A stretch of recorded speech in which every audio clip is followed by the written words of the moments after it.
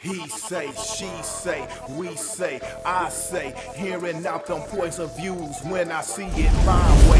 Yes, it goes, yes, it knows, maybe so's, probably not. Shoulds and coulds, do's and don'ts, your rules and won'ts is how you rock. Politicians and religions on your house, or are you renting? Is you married? Is you single? Meta interest when you mingle. Turn out to be someone you into. So how long before the bed get wrinkled?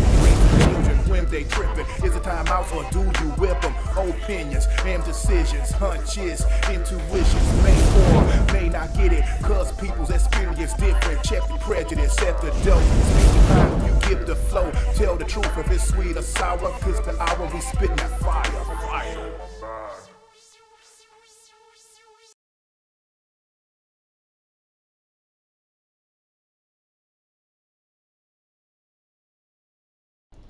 Hello everyone, this is Ben Spitfire. You have to be over the age of 18 to listen to my channel, visit my videos, and make sure you read the disclaimer in the description below. I use aggressive language, aggressive tone, plenty of cuss words. This is Spitfire. What do you think we're going to get? Let's get into it. That all the heartache and all the trouble he's going through right now and has gone through in the past, and I just believe that sometimes we're a little too, too quick to judge. Take my hand, girl, and walk with me out to the floor. Let me watch you, let me touch you, let me hold you tight. I said, you got me too. We can something. Just come with me, cause the girl, show you a good time.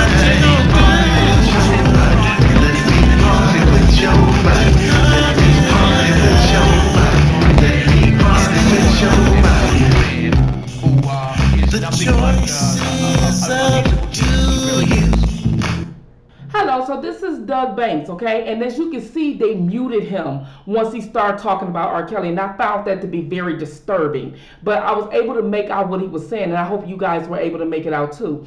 Um, since then, Doug Banks has passed away, okay? A few years back, he was hit by a car, I believe. I'm not for sure. Please fact check that yourself. Um, and Rickey Smiley used to work for him back in Chicago back in the day. We're going to hear Rickey Smiley talk about this and the hypocrisy on his ass too. Let's get it going. Mm, mm. Are y'all listening to the show? Yeah, Nevin, I got fired. I got fired for speaking out. That's what started the process of me getting fired. They didn't, they didn't, Chicago was a, a major affiliate. I think we was on GCI at the time, and they was carrying Doug Banks' morning show. So when I spoke out against R. Kelly, and they was getting ready to do some kind of event, and they was trying to get R. Kelly to do it. So what they can't have, they can't have a comedian on your radio show speaking out against R. Kelly, and they was trying to use him to do an event. And uh, that started the process. Next thing you know, after I got my first official paycheck, uh, my attorney called me. He said, "Hey man, they're gonna go in a different direction." And um, so it was like, man, it was crazy. "Yeah, let me tell you something about the R. Kelly situation, man." All them folks ain't finna wake up and just all of a sudden accuse him of all this stuff. I know one of the girls, she used to work with us at 97.9 The Beat in Dallas. We have been knowing this for years. We knew this way before that came out. As a matter of fact, when I was on the Doug Banks Morning Show, I spoke out against R. Kelly and I got fired. Eventually. Because the program director in Chicago said that we was getting ready to do something with R. Kelly and they didn't like my comments. And eventually, um, eventually, dog, they got me out of there. And I ended up losing my job because I spoke out against R. Kelly. So, you know what I'm saying? What I've been saying for years. What I've been saying for years. Cut it. Cut it. Cut it. Would you wear that, a shirt like that on stage? Hell to the no. You didn't have to say it like that, Mr. Kelly. R. R. Kelly in the studio. I asked him, would you wear that shirt right there? He says, Hell to the no. So you dead and your casket and you go up and you're standing at the gates of heaven. And if you don't put Gary's shirt on, you're going to go in hell and burn forever. Would you wear that shirt? Hell to the no. Ah, opportunity to go on the road with R. Kelly and blow up. You always try to get me to do right, stuff. Sit right here in front of R. Kelly. Come on, give us a little bit. Okay, um, all right. I sing because I'm happy. Yeah.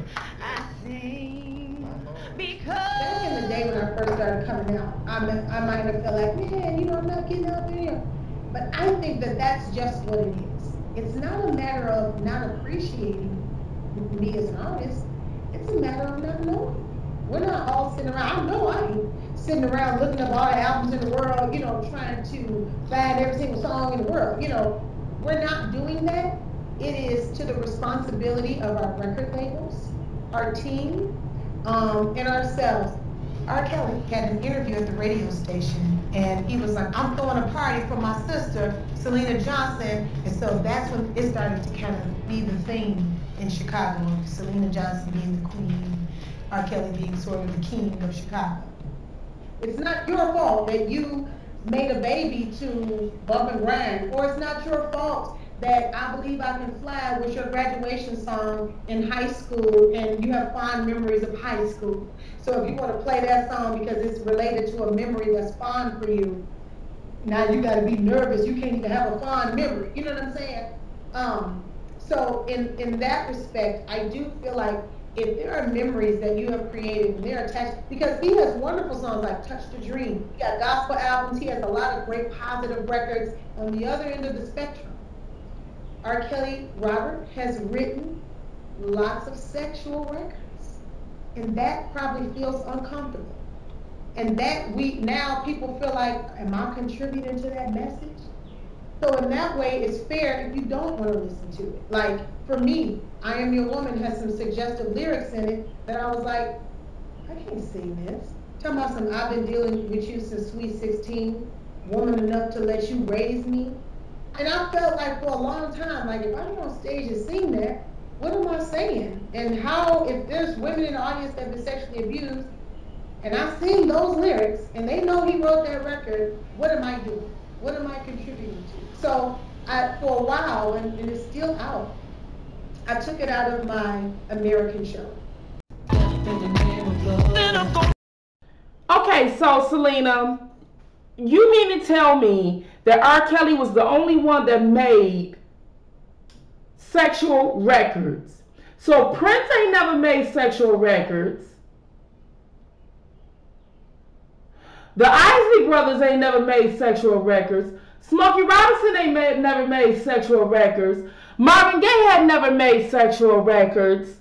Who else have made some sexual records? Rick James ain't never made sexual records. Who else made some sexual records, you guys?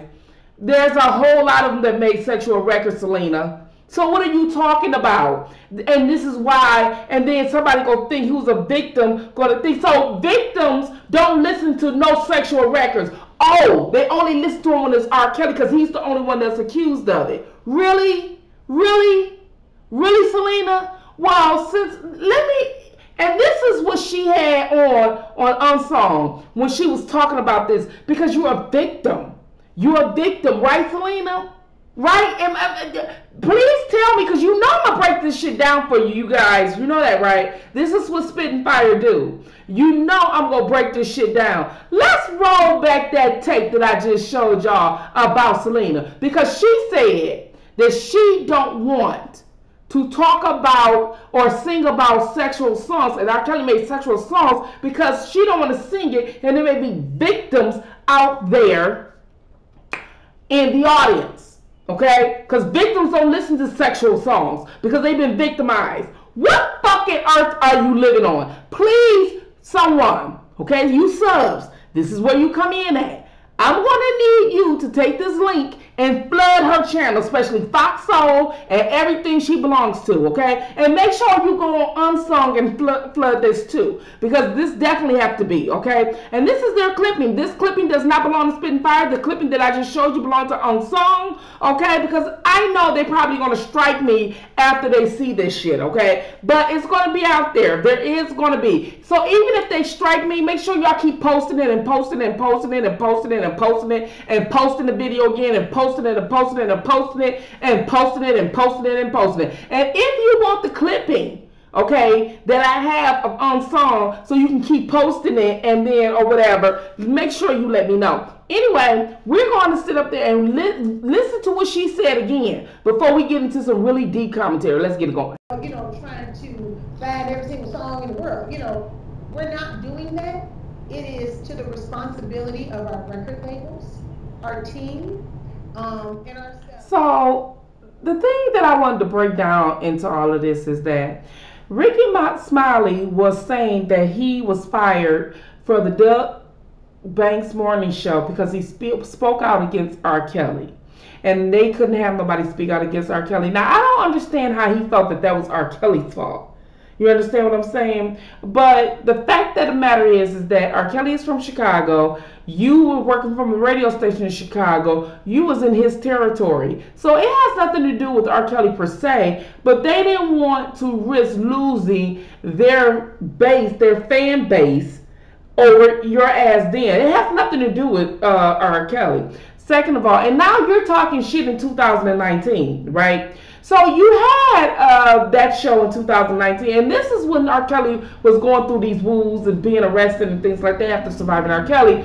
Of the radio show that I showed you, that when he said that he was fired from the Doug Banks Morning Show, and when he was combing his beard and everything, and he was talking about that, right? So that was in 2019. So the video I showed you guys before that was in 2016, which is three years prior to that, right?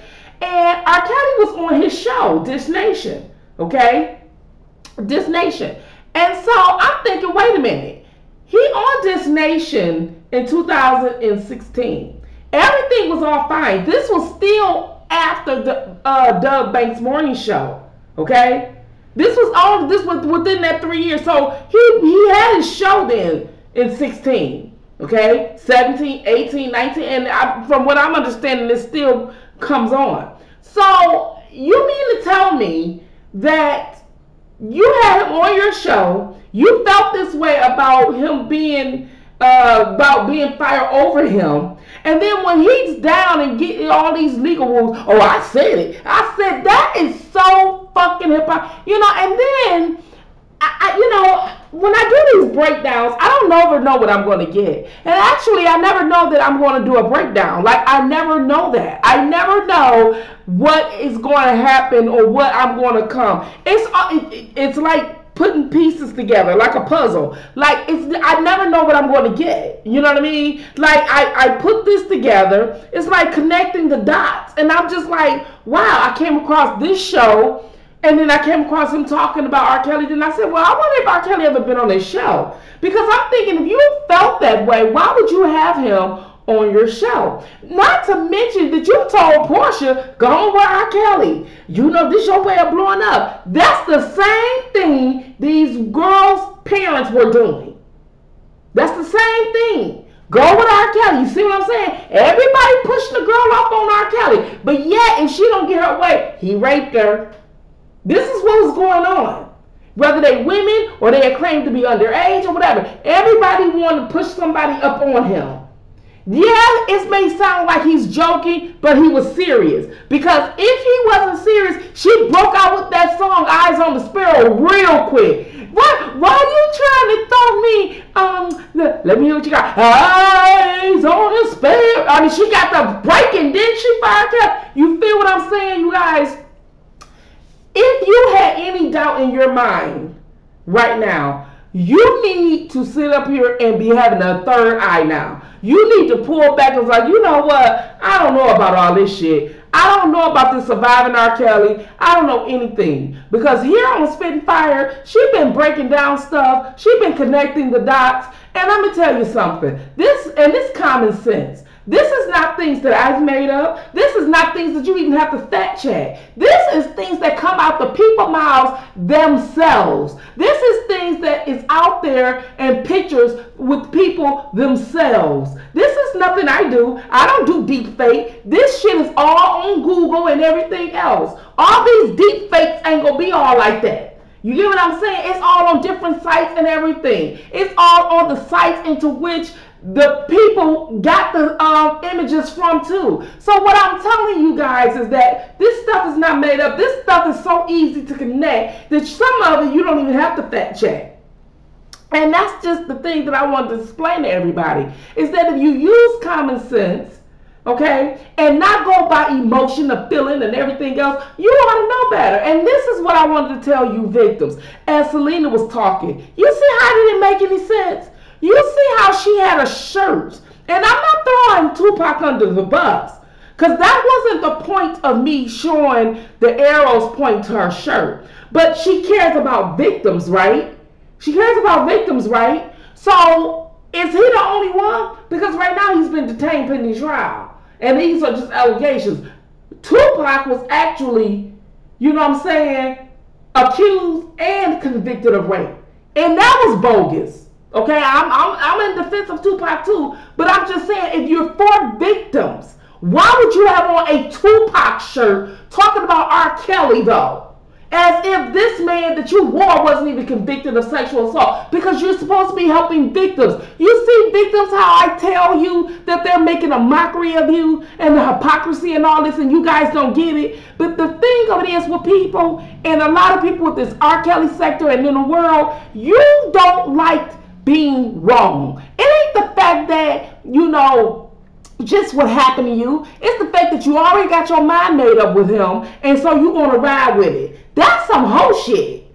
I hate to say it. You know what I'm saying? Because that makes people not even sympathize with you being a victim. When you can be that salacious to say, okay, well, I know I've been a victim, but if he's wrong, I don't want no, I don't want to become a predator of false accusing somebody who have to go through some heinous experiences and they didn't really do anything because that's hypocrisy. You said somebody took your body and took your self-respect and took your um, ability to do to have control over your body and your life you know what I'm saying, or you're consenting, but yet you're willing to make a man, let a man go to prison falsely and have him endure whatever it is that he endured and he's innocent all because of your ego? Really?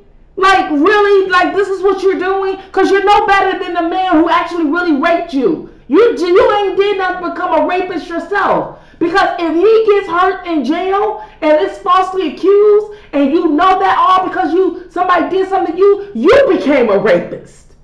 Okay? It's all about being accomplice to rape. You are an accomplice to rape, which means you go down and get the same penalty as a rapist. In other words, if you're accessory to murder, you can go and be accused of accessory to murder. You get the same amount of time.